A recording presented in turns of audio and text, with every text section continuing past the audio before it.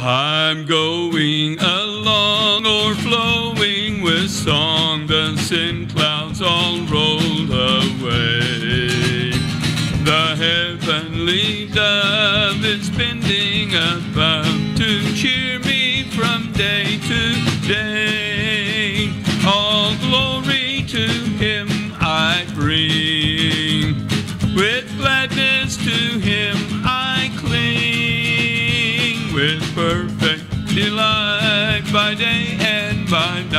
This wonderful song I sing.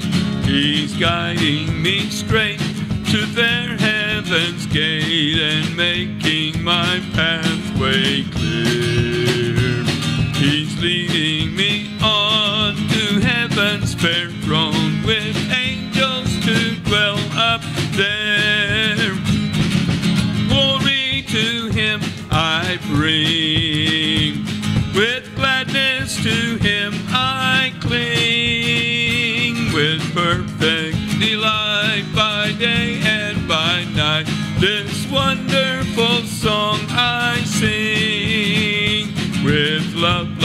like a glow wherever I go, I'll sing up his saving grace.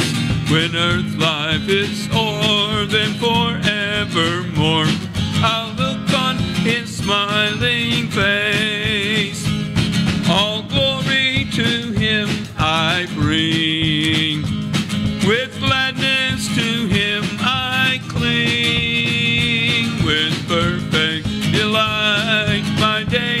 By night.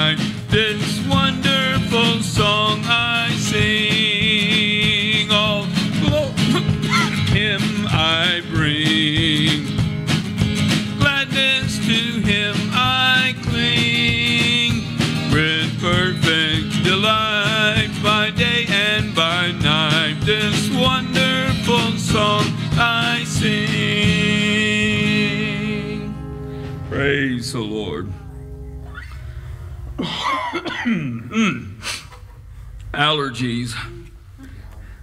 Page 242.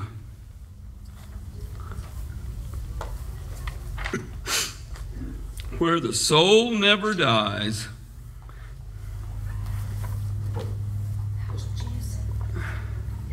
I think that's the important concept is that the soul never dies and that's what's important. That's that's everything that we're working for, working toward is the condition of our soul. 242 to Canaan's land. I'm on my way where the soul never dies. My darkest night will turn to day where the soul never dies. No sad farewells, no tear dim eyes, where all is love and the soul never dies. A rose is blooming there for me, where the soul never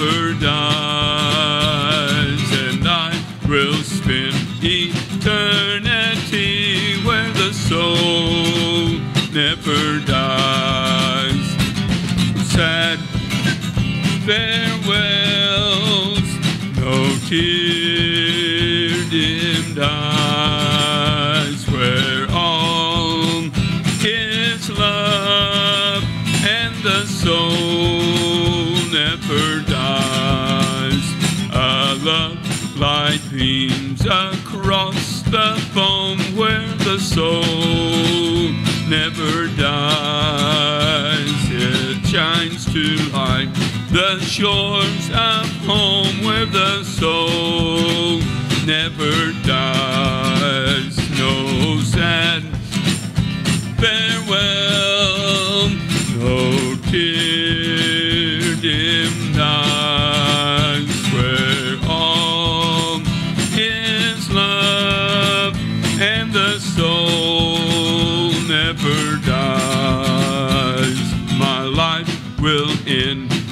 deathless sleep where the soul never dies and everlasting joys I'll reap where the soul never dies. No sad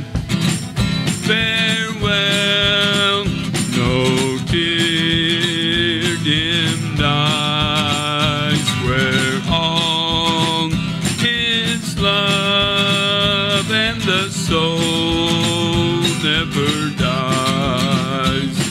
I'm on my way to that fair land where the soul never dies, where there will be no parting hand, where the soul never dies. No, no sad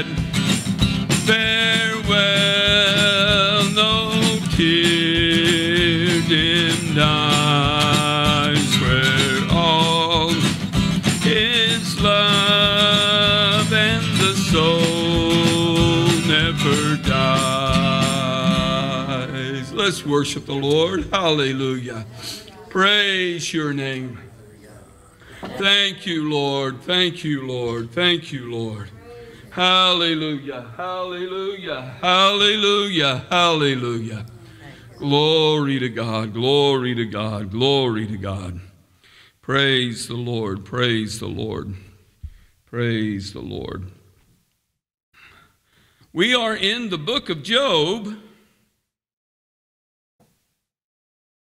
And we're on chapters 36 and 37. Job chapters 36 and 37. We have been, those of you that have been able to follow where we are, this is the last of Elihu's long rant. And um, he's going to finish it up. Even though God only allowed Satan to do these things to Job, and I mean, God didn't do them himself, but he did indeed allow Satan to do those. And God didn't do these things himself. Both God and Job are judged by Satan's actions. Did you notice that? Job was judged because they said, well, he's in sin because of the wrath of God. That's, I mean, you know, God's, God's correcting Job. Uh, Job's having to pay for his sins, and Satan was very careful to make it look like that. But Satan is the one that did all of this, and God and Job were judged by Satan's actions. So I wonder how often that happens too to others also, where a person is going through something that's very difficult. And so, I mean, we begin making judgments. Well, I wonder what they did to deserve this. What, what was it? What, what have they been doing wrong that is causing them to have to uh, have to go through this? Uh, and then we begin judging God also. Well, why would, why would God do this to somebody?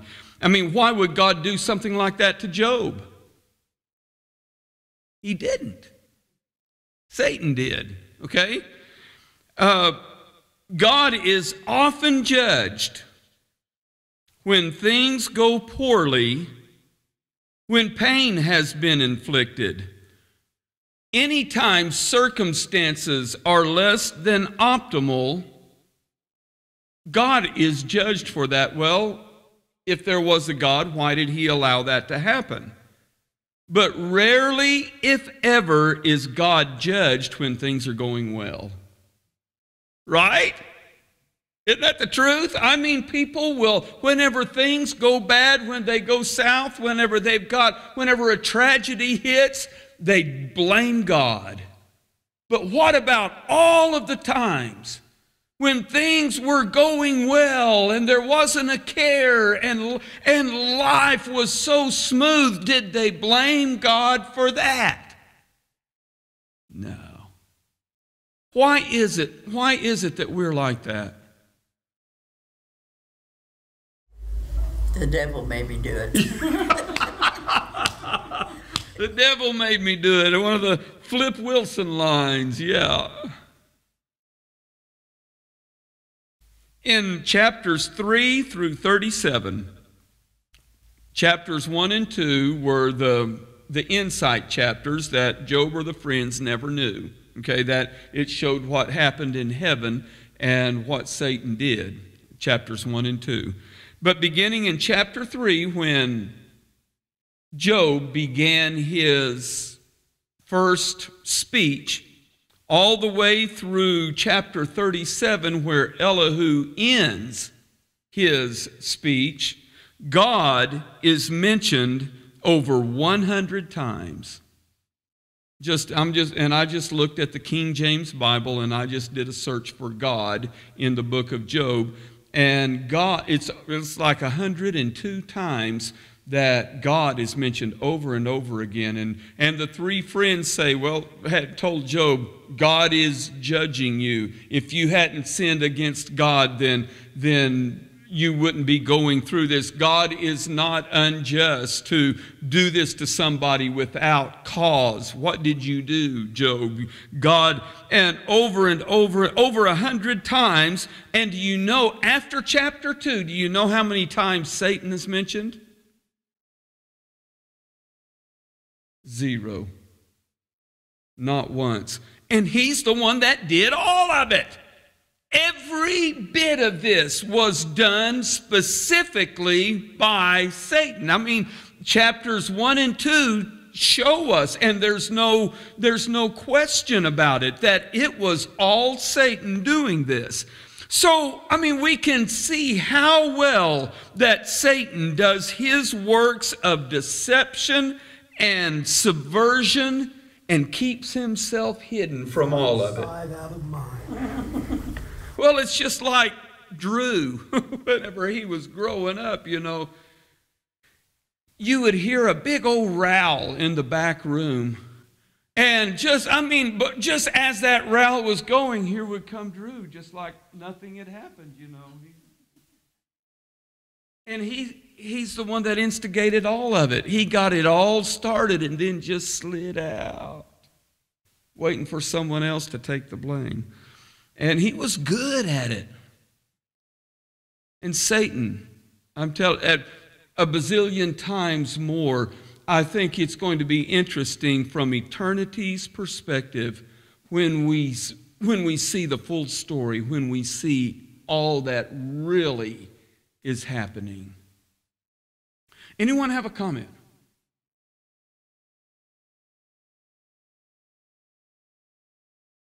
This study for me in Job has just been an eye opener. It's been a real a real revelation to me. Elihu's perspective of God. Now, we had the three friends, Eliphaz, Bildad, and the other one. I didn't write them down. I know those names, but my, they just slipped me.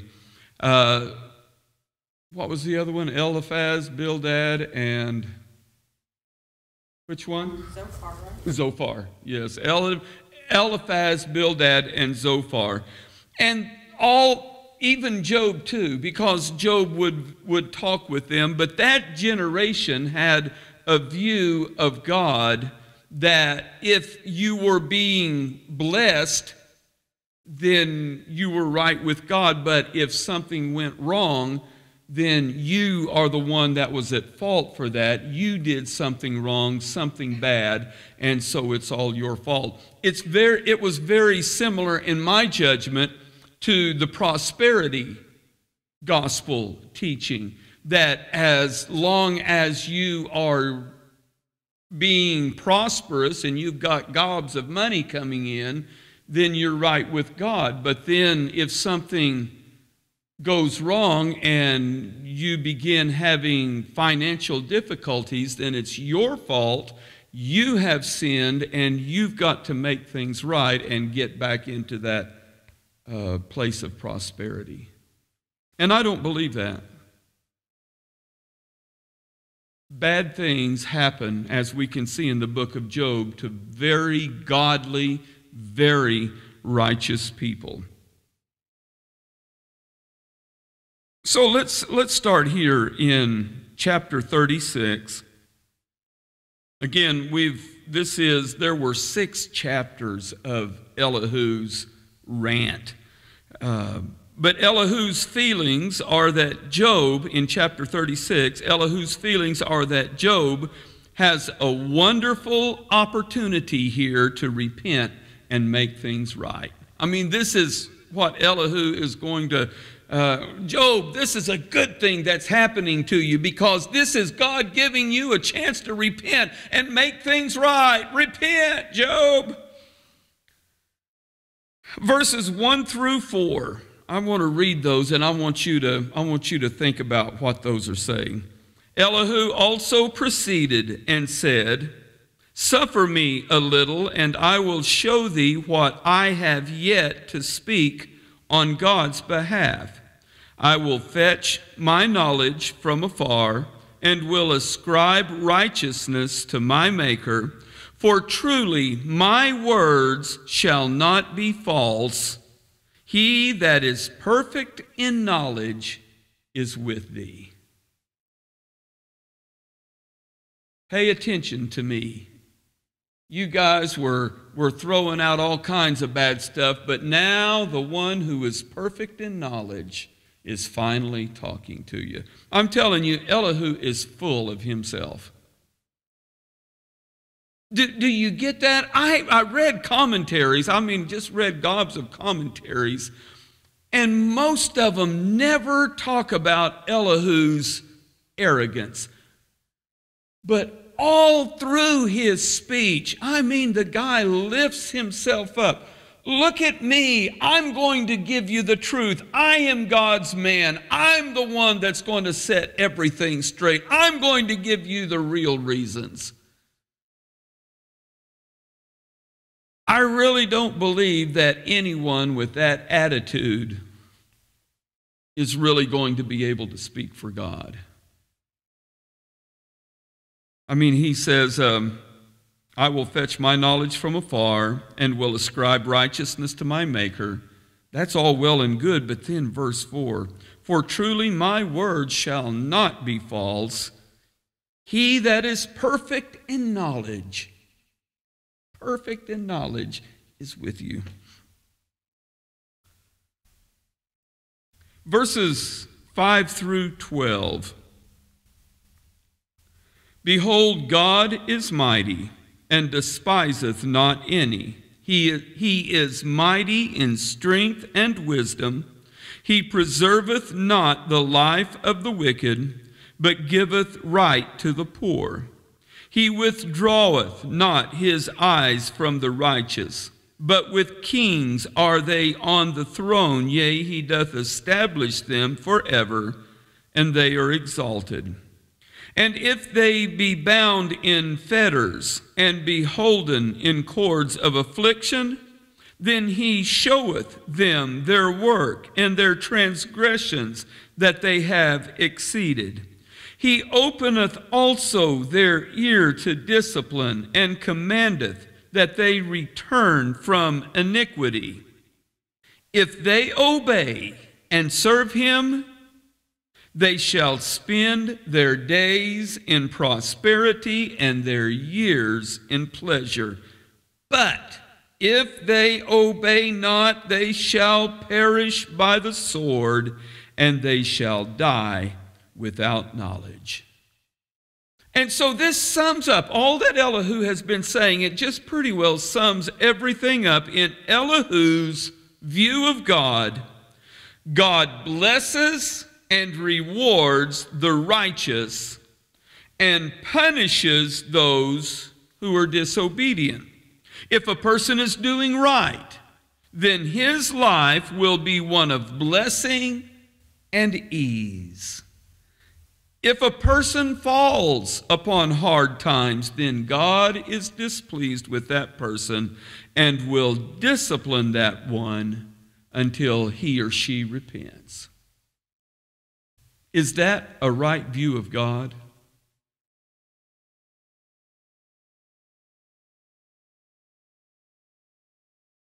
No. Why or why not?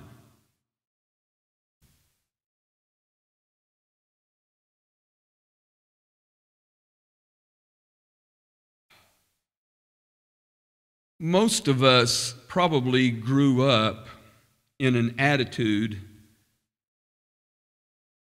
that if everything was going good, then God was blessing you. But if things started to go wrong, then you were to search your heart and find out where the sin was, where you were going wrong. I mean, it was even taught oftentimes you may not even know what the sin is. You're just going to have to get before God and pray through. And I'm not against praying through, okay? I mean, to, to pray until one touches God and knows that there's nothing between them and God. There's nothing wrong with that. But we were taught growing up that if, the, if, if if for some reason things weren't going good, then you needed to search your heart and find out why. And that was Elihu's view. Is that the way God is? Does, I mean, anyone have a comment? What?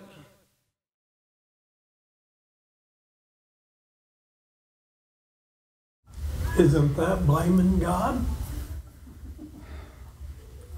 I think so. I, Brother Danny asked, Isn't that blaming God? Yeah, I think so.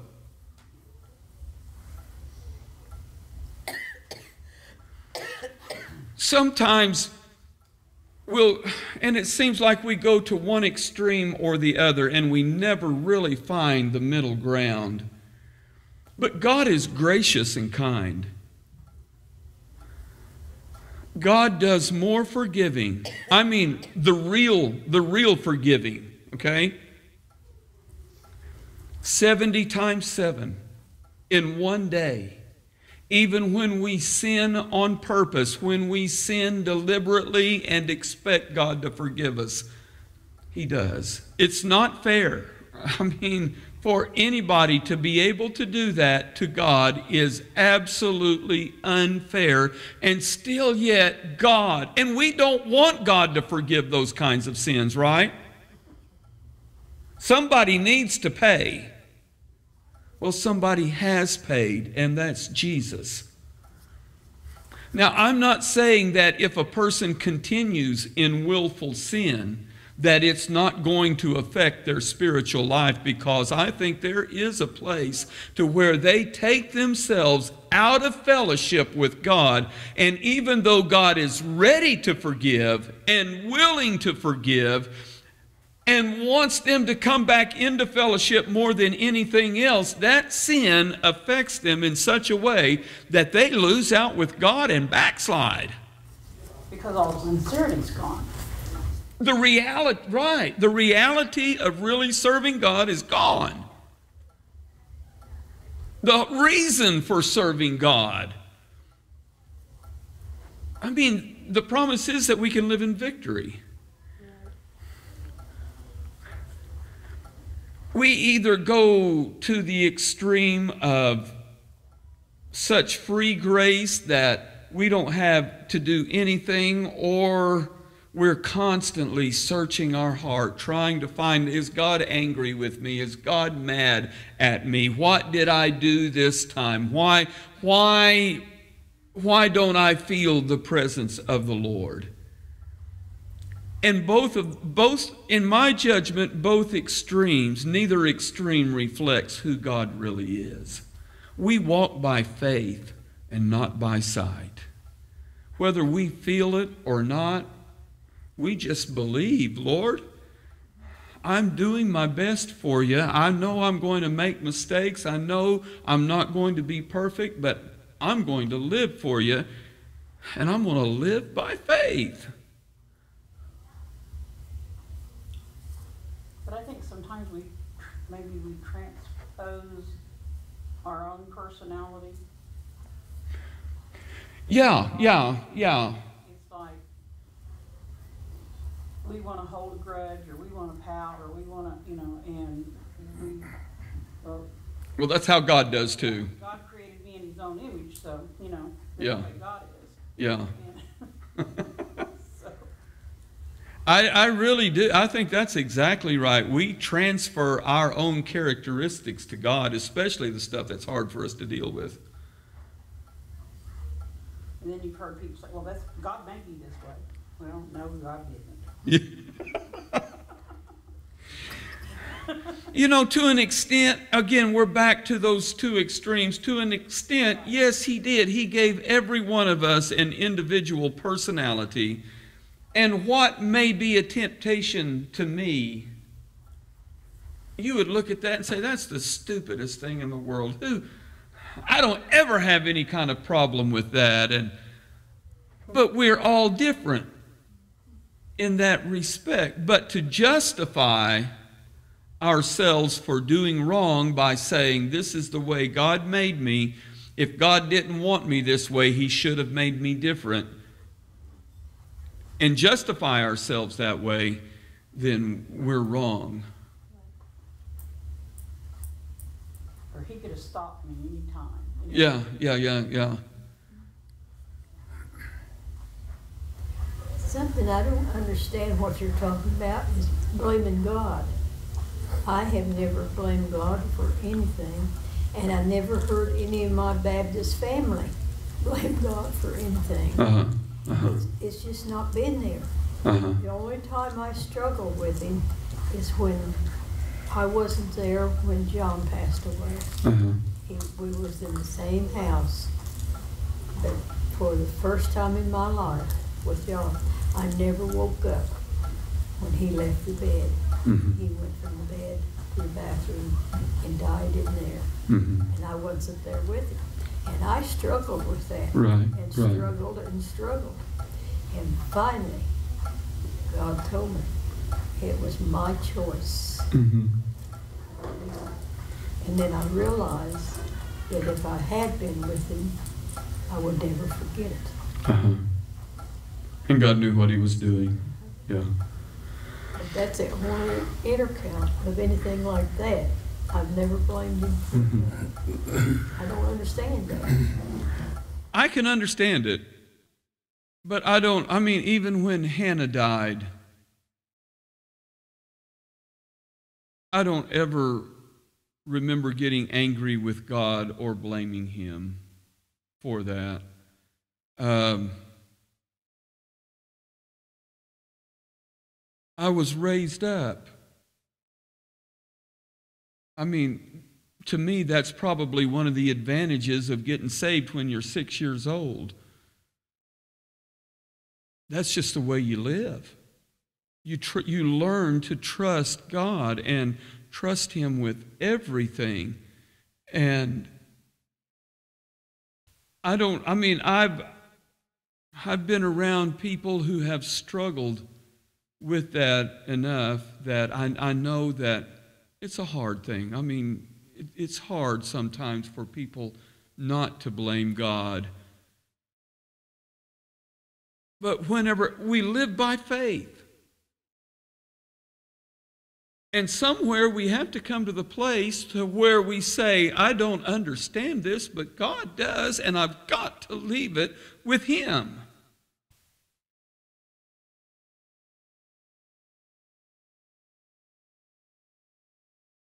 But there are a lot of people that blame God for everything. I, listen, this is the honest truth. I've, I have talked to a lot of people who claim to be atheists. And most of the time, the first thing out of their mouth is if there was a God, why did he allow this or allow that? And they implicitly say, yes, there probably is a God and he's the one to blame. And I think there's that part in every one of us that feels and senses the spiritual realm, and we can't deny that.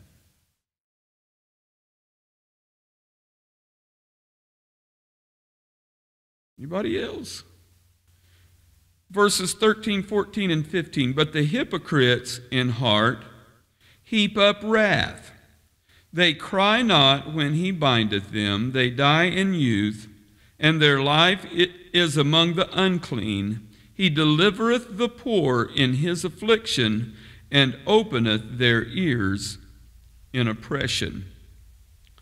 There in uh, verse 12, if a person, I mean, Elihu is saying, yeah, nobody lives perfect, but God deals with us and he tries to bring us back to himself. But then he, he pulls out his big hammer and he starts smashing. He says, But the hypocrite.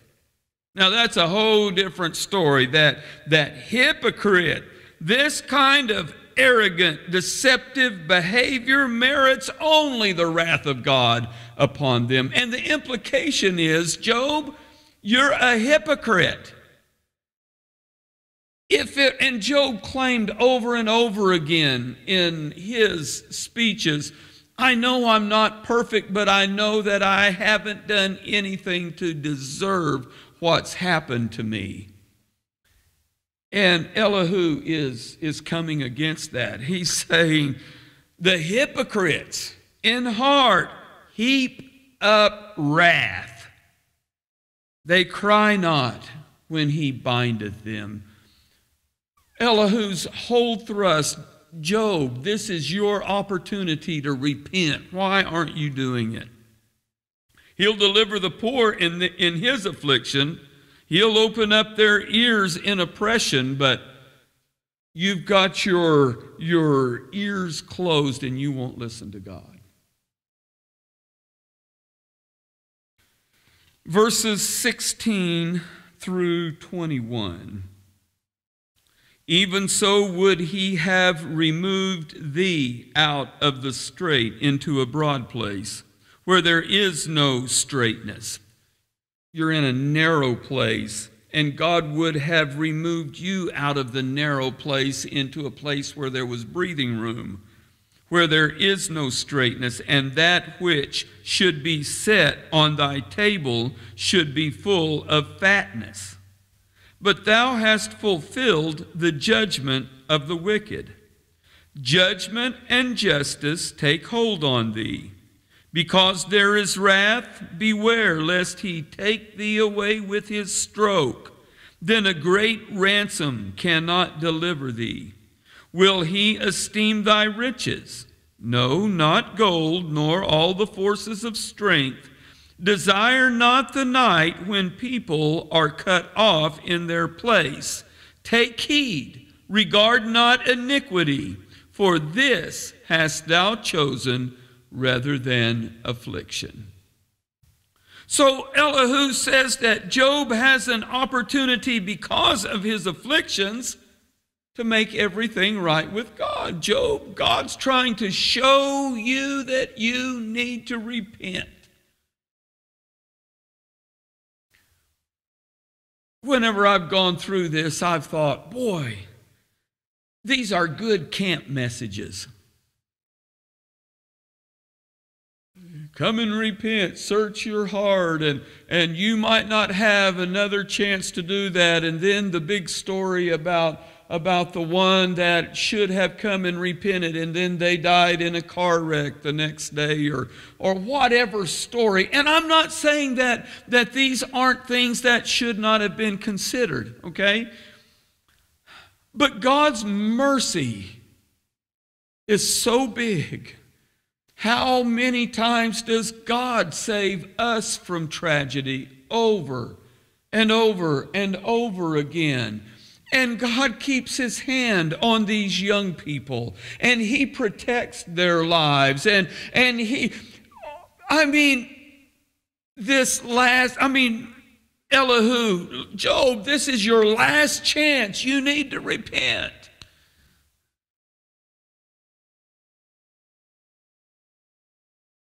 If you have a comment, just speak up. Verses 22 to 23.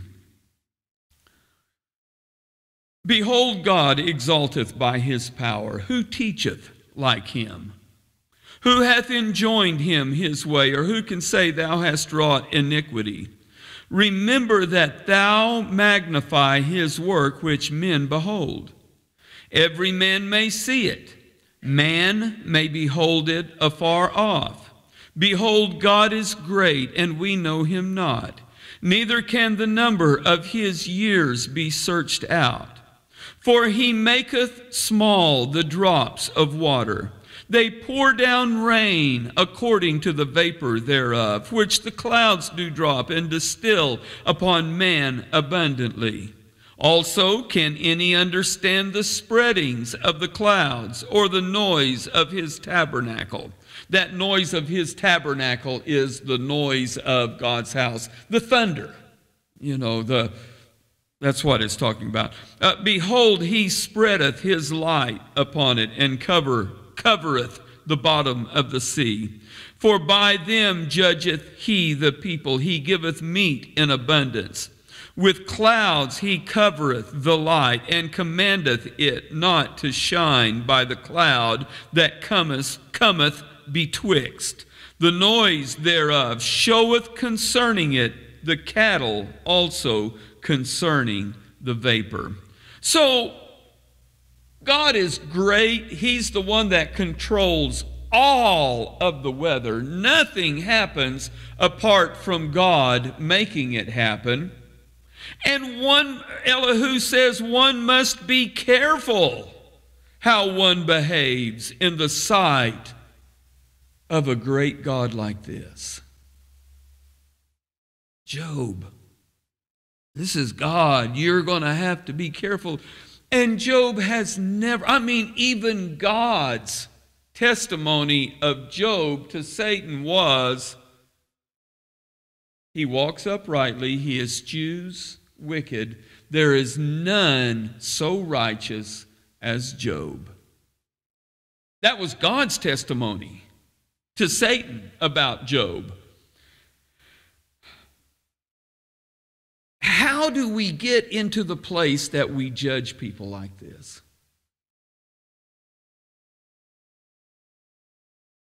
I don't know. I do it. I do it. And I, and I don't want to. I'm, I ask the Lord to help me. Lord, help me to ratchet the judgment back.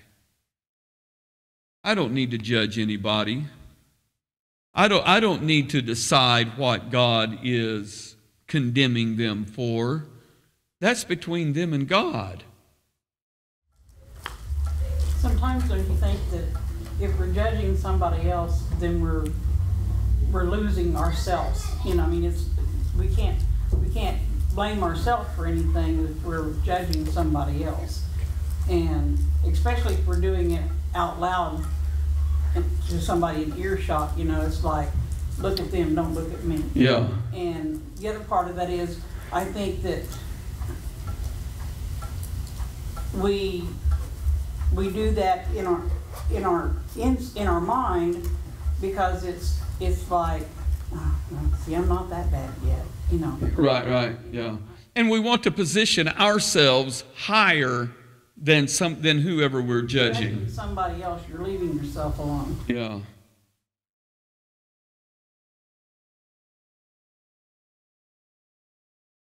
We don't have the, the, the, it is not ours to judge anybody. It's between them and God. I've often wondered in our church here, we preach and we share the message. If we had some shtick, some kind of a program, some kind of a hook that would hook people, you know, and it would we if we could make it somehow an us against them, where where we have our own little clique and uh, uh, we are the special ones, and everybody else isn't as special as what we are. I'm going to guess that we, our church would begin to grow because people want to attach themselves to something that's a little bit better than everybody else. And that is so opposite the scripture. We are to be the servant of everybody. We're not to join a clique and try to make ourselves above. We're supposed to be underneath everybody else. And it's hard for people to want to join something like that.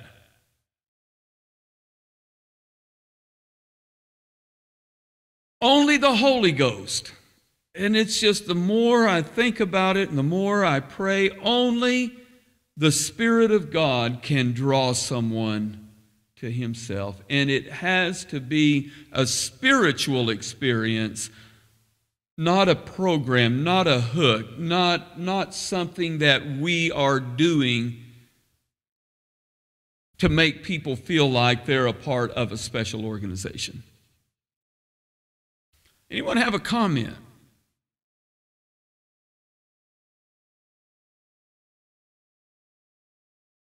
Let's go to chapter 37. This is where Elihu draws his final conclusions.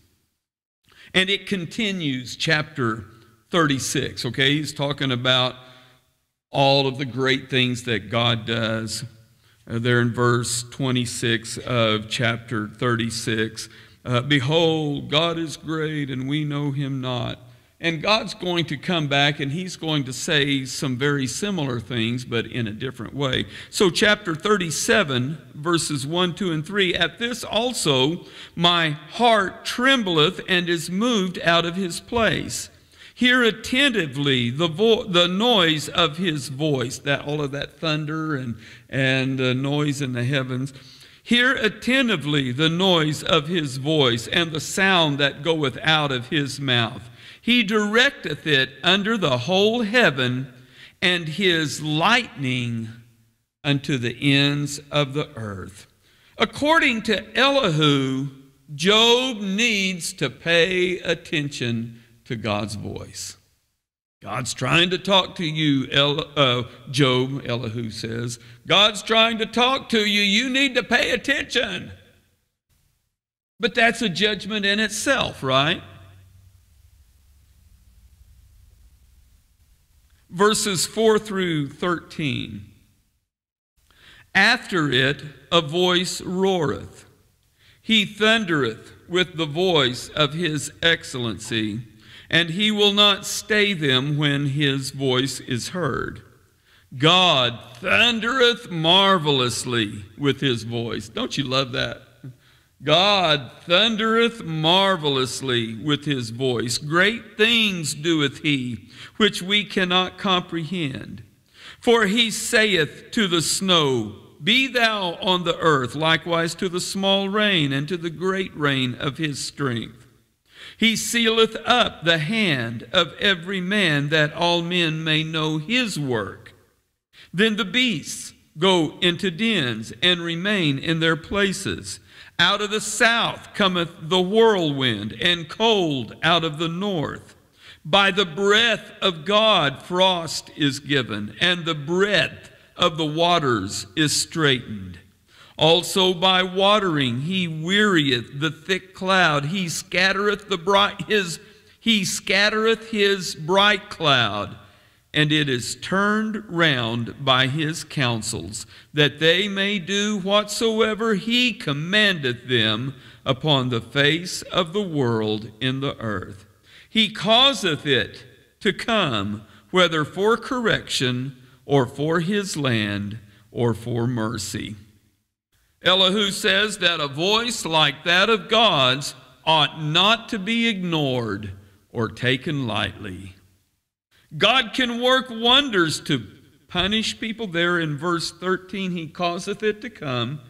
All of these wonderful things the cold from the north by the breath of His voice, the, the ice comes, and uh, by the breath of God, frost is given. Uh, he narrows the waters, straightened. Uh, And he all of these things he causeth it to come, whether for correction, to correct somebody, or for his land, maintenance to maintain his creation, or for mercy to show his people love. And so Elihu says God can work wonders to punish people, to maintain his creation, or to show people his love. He's saying what God's done to you, Job, all of the tragedies that you're going through, you need to listen. I mean, God might not be speaking with an audible voice, but He's speaking through these circumstances, and you need to repent. I don't even know if Job's listening or not.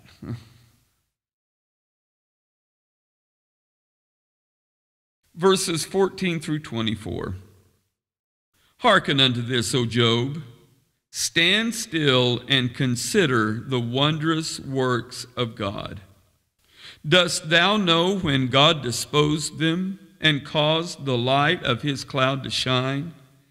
Dost thou know the balancings of the clouds, the wondrous works of him which is perfect in knowledge?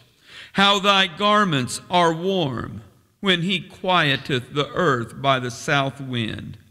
Hast thou with him spread out the sky, which is strong and as a molten looking glass?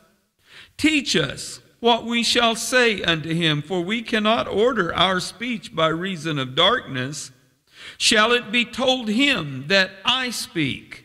If a man speak, surely he will be swallowed up. And now men see not the bright light which is in the clouds, but the wind passeth and cleanseth them. Fair weather cometh out of the north. With God is terrible majesty. Touching the Almighty, we cannot find him out.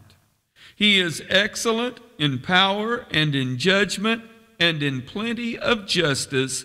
He will not afflict. Men do therefore fear him. He respecteth not any that are wise of heart. So Elihu says, No one can figure God out. But Elihu says, There is one thing that I know. Verse 23, I mean, this is how he ends it. Touching the Almighty, we cannot find him out. No one can figure out God.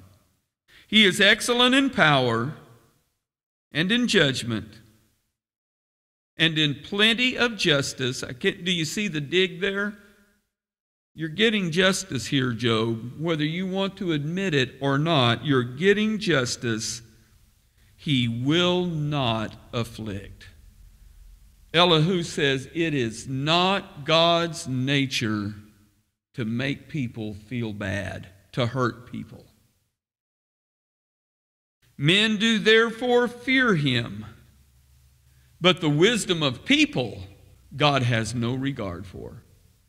That's what he said there. He respecteth not any that are wise of heart. In all of these, in all of Elihu's speakings, okay, in all that he says, it's almost every bit of it really, really good stuff until he makes an application. And it's wrong. He's not right in what he says, even though he thinks that he is God's gift to, to preachers and preaching and, and the ministry. He's off just that little bit to where he really doesn't understand why Job is going through what he's going through. And it was the same way with the three friends. They almost had it right. What was, what was missing? Why couldn't they get it right? The key to everything. Why couldn't the friends get it right? They didn't know enough. They did not know that this was this incredibly, I mean, Satan's accusation was none of your creation will serve you unless you give them all kinds of good stuff. Un- unless you reward them, nobody will serve you. And God says, God says, no, you're wrong. I have some that will serve me even if they get nothing from me. Zero. God even went, God said, I've got some that will serve me even if I turn you loose on them and let you do whatever you want to. They will never turn their back on me. Which are we?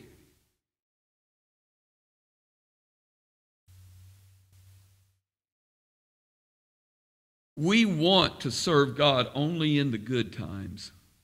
And when things start getting a little tough, we want to cut out of here. Give it up.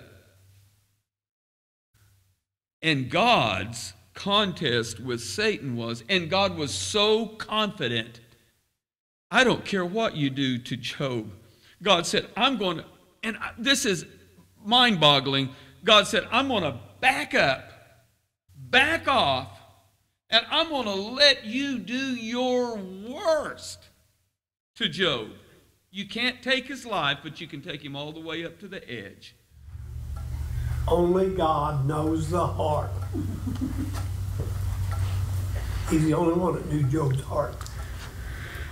But it still, to me, it still speaks to Job's integrity that Job was so willing to serve God, and he was going no matter what, even though his three friends pounded him. Job was still going to serve God. Satan didn't know Job's heart. No. He thought he knew. Yeah. Only God. Only God knew. Yeah. Only God knew Job's heart. But what if, and this has made me think, Lord, what if everything goes south? What if nothing is good? What if everything turns out so? I mean, Job lost 10 children in a matter of minutes. One child about killed me. Can you imagine losing all of your family? And then your wife telling you, curse God and die. Why put up with this? And, and I, I don't have a stone to throw. Listen, I, I read all the commentaries, and boy, I mean, they ride Job's wife high, but I'm Put yourself in that position. These were the children of her body. And in a moment, they were all gone. And it looked like it was all Job's fault, even to Job's wife. You can read into, the, into those, that wording there.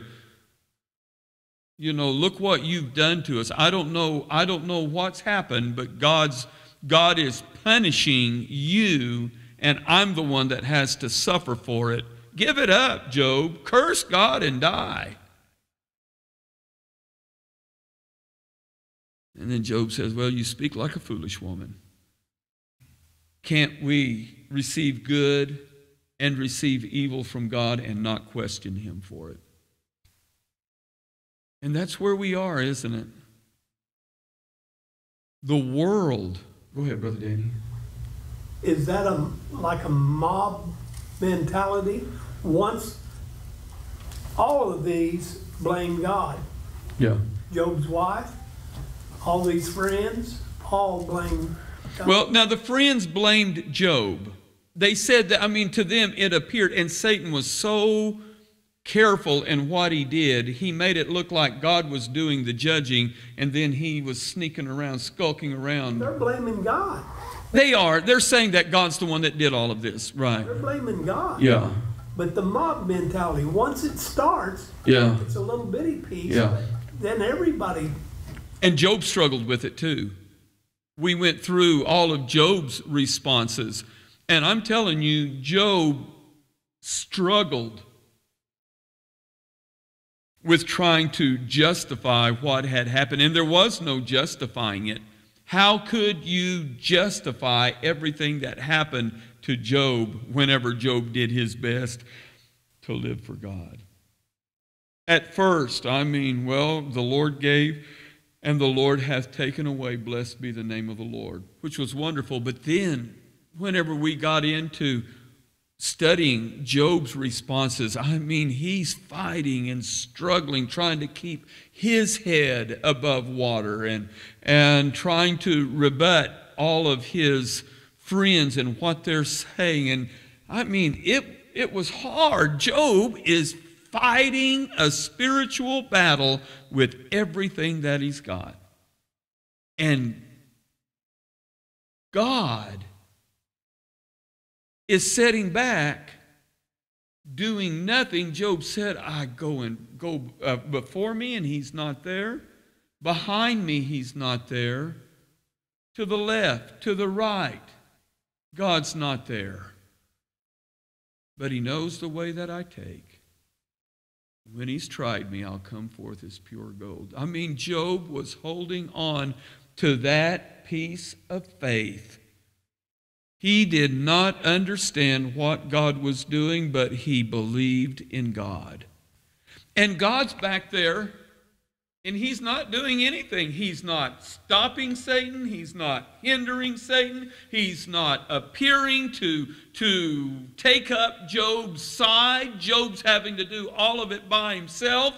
And all the while, this is what gets me, all the while, God knew that he did not have to intervene, and Job was never going to give up his faith in God. And that's where I want to be. I don't want to go through what Job went through, but if I have to, I want to trust God.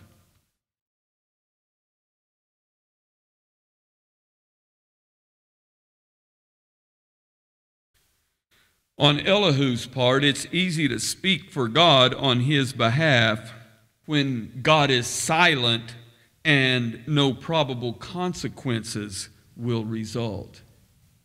I mean, it's easy to God, God, God thinks this about you. God.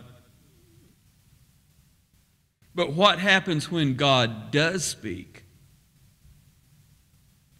What happens when God sets things straight.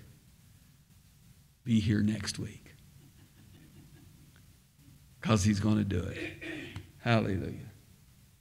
Anyone have a comment? I, I have loved this study because it addresses something. I mean, honestly, in the Christian world, preachers, lay people, teachers, Sunday school teachers, most of us never address trusting God even whenever God seems to be nowhere around. Trusting God when God is so unfair that it, I mean, when you have to go through something that is not your fault, the most brutal of brutal of brutal things are you still going to say, God, I'm not going to let you go, I'm going to trust you? And there's no reason.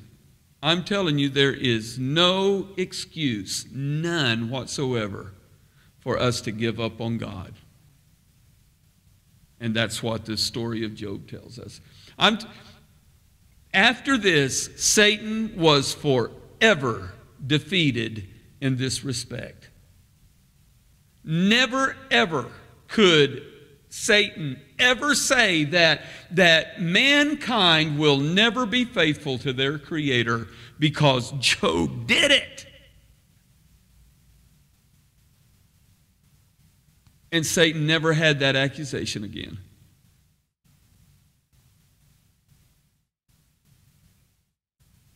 Any final comment? Praise the the Lord. Let's stand. Let's just worship the Lord together, can we? Thank you, Lord. Thank you, Lord, for your goodness. Oh, God. Hallelujah. Oh, God, I want to serve you and trust you no matter what, oh, Lord. Hallelujah. Hallelujah. Hallelujah. Hallelujah. Hallelujah. Lord, I love you. Lord, I love you. Thank you, Lord. Hallelujah. Praise the Lord. Praise the Lord. Praise the Lord. The Lord bless you.